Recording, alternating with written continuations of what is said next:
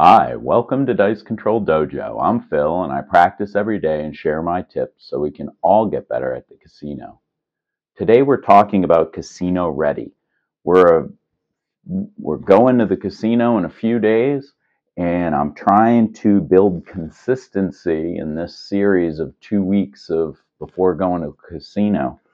And I've practiced each part of the throw last week and uh, practice consistency and seeing if everything's going all right. We talked about not tweaking too much the last week. You want to just make sure you have muscle and mental memory on everything that you're doing. So today I want to talk about casino ready. What does that look like? Casino ready is I'm sitting in this beautiful, quiet environment 4:35 in the morning. Everything's quiet. I'm able to concentrate 100% on my throw and get it down consistent. Well, that doesn't do me very good if we go to a casino and you start with all the issues that are going on in a casino. What are the different factors? You've been at a casino, hopefully, and see that there's bright lights, there's alcohol, there's dealers, there's noise, there's other players. And we don't practice that enough. That's why I'm always suggesting you try some live practices at a casino routinely. So you're not sitting here getting going, I don't understand how I'm doing so bad at a casino, but at home I'm wonderful on my practice rig. Well, your practice rig is not the casino. And we have to get you a little bit more adapted. So, with four or five days left or to, before you go to a casino, or throughout your practices, you should always try and get into a distractive mode.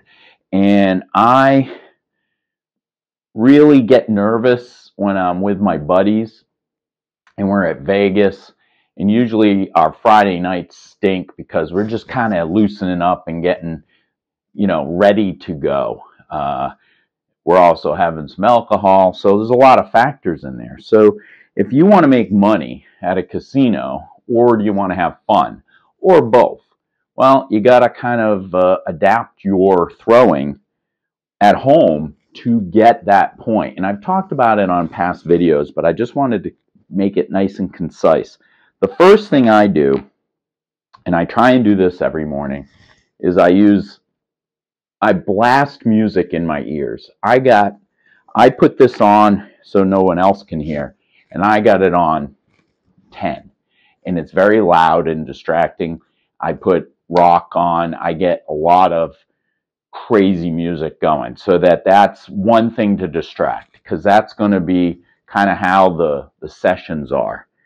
Um, two, I have the TV on, and so there's lights going on, and I get a lot of things going like that. Okay.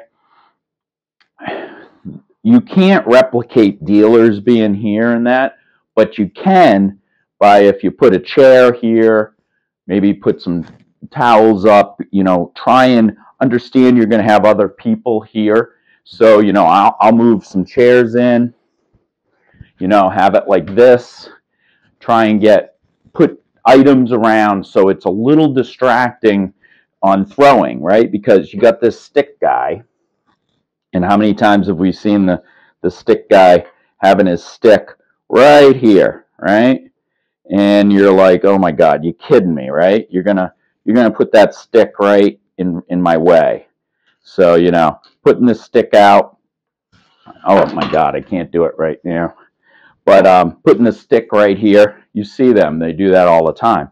That's, uh, and if you're at SL1 or SR1, that's going to be in your way. So you have to adapt to that, right? So you got chairs, you got distractions, and you have TV. I have the noise blasting. I'm trying to recreate as much as possible. Put as much light on as you can. Just kind of get things going. Uh, you could have a couple, not only you have TV up here, but maybe have a couple videos going on over here on your iPads and stuff. So there's multiple things going on. It's not just one thing you can concentrate on so that you're very distracted. Then also too, tons of chips. You got to put tons of chips all over the place so you can recreate not this nice smooth surface, right? There's a lot of bedding going on. There's a lot of stuff going on. So you want to have lots of stuff in your way. Remember, what are you doing here has to reflect what you're doing at the casino.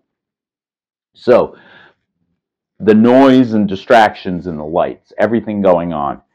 The second thing you need to practice is time. Okay? So we sit here and I can, I showed on yesterday's video, right? I just sat here and I threw 36 times right in a row. Boom, boom, boom, boom, boom. Well, of course, I'm going to have some fantastic numbers. I mean, yesterday I had, I threw a 12 SRR, which is, is great, but that's in an, an environment where I'm doing this. One, two, three, right? So you're you're throwing it over and over and over again. That's not practical in a casino, right? We're going to have our bets going down. They're going to pass you the dice. You're going to throw it. The point is five. Five is the point, okay? So now everybody's going to be putting their bets out. So what do you do at home? Well, make sure instead of you slating off one hour of practice, maybe instead of doing this whole one hour practice, practice just one hour of throwing, but make sure the 36 throws takes one hour to do it. So you may want to go to the bathroom. Maybe you get a cup of coffee. Maybe, maybe go do something for a minute or two. Or maybe just sit here on your phone and just, you know, play a video game or something. But take a few minutes for each throw. Then when you come back, you can come back to, all right, let's see what that throw is, all right? Make sure all your bets are down. You know what your future bet is going to be. Then you're going to throw again. It's a four. The throw is four. So now you need to distract again. Put your bets out, collect your stuff. Give yourself a minute or so so that all the bets can come around and you can get everything the way you want it.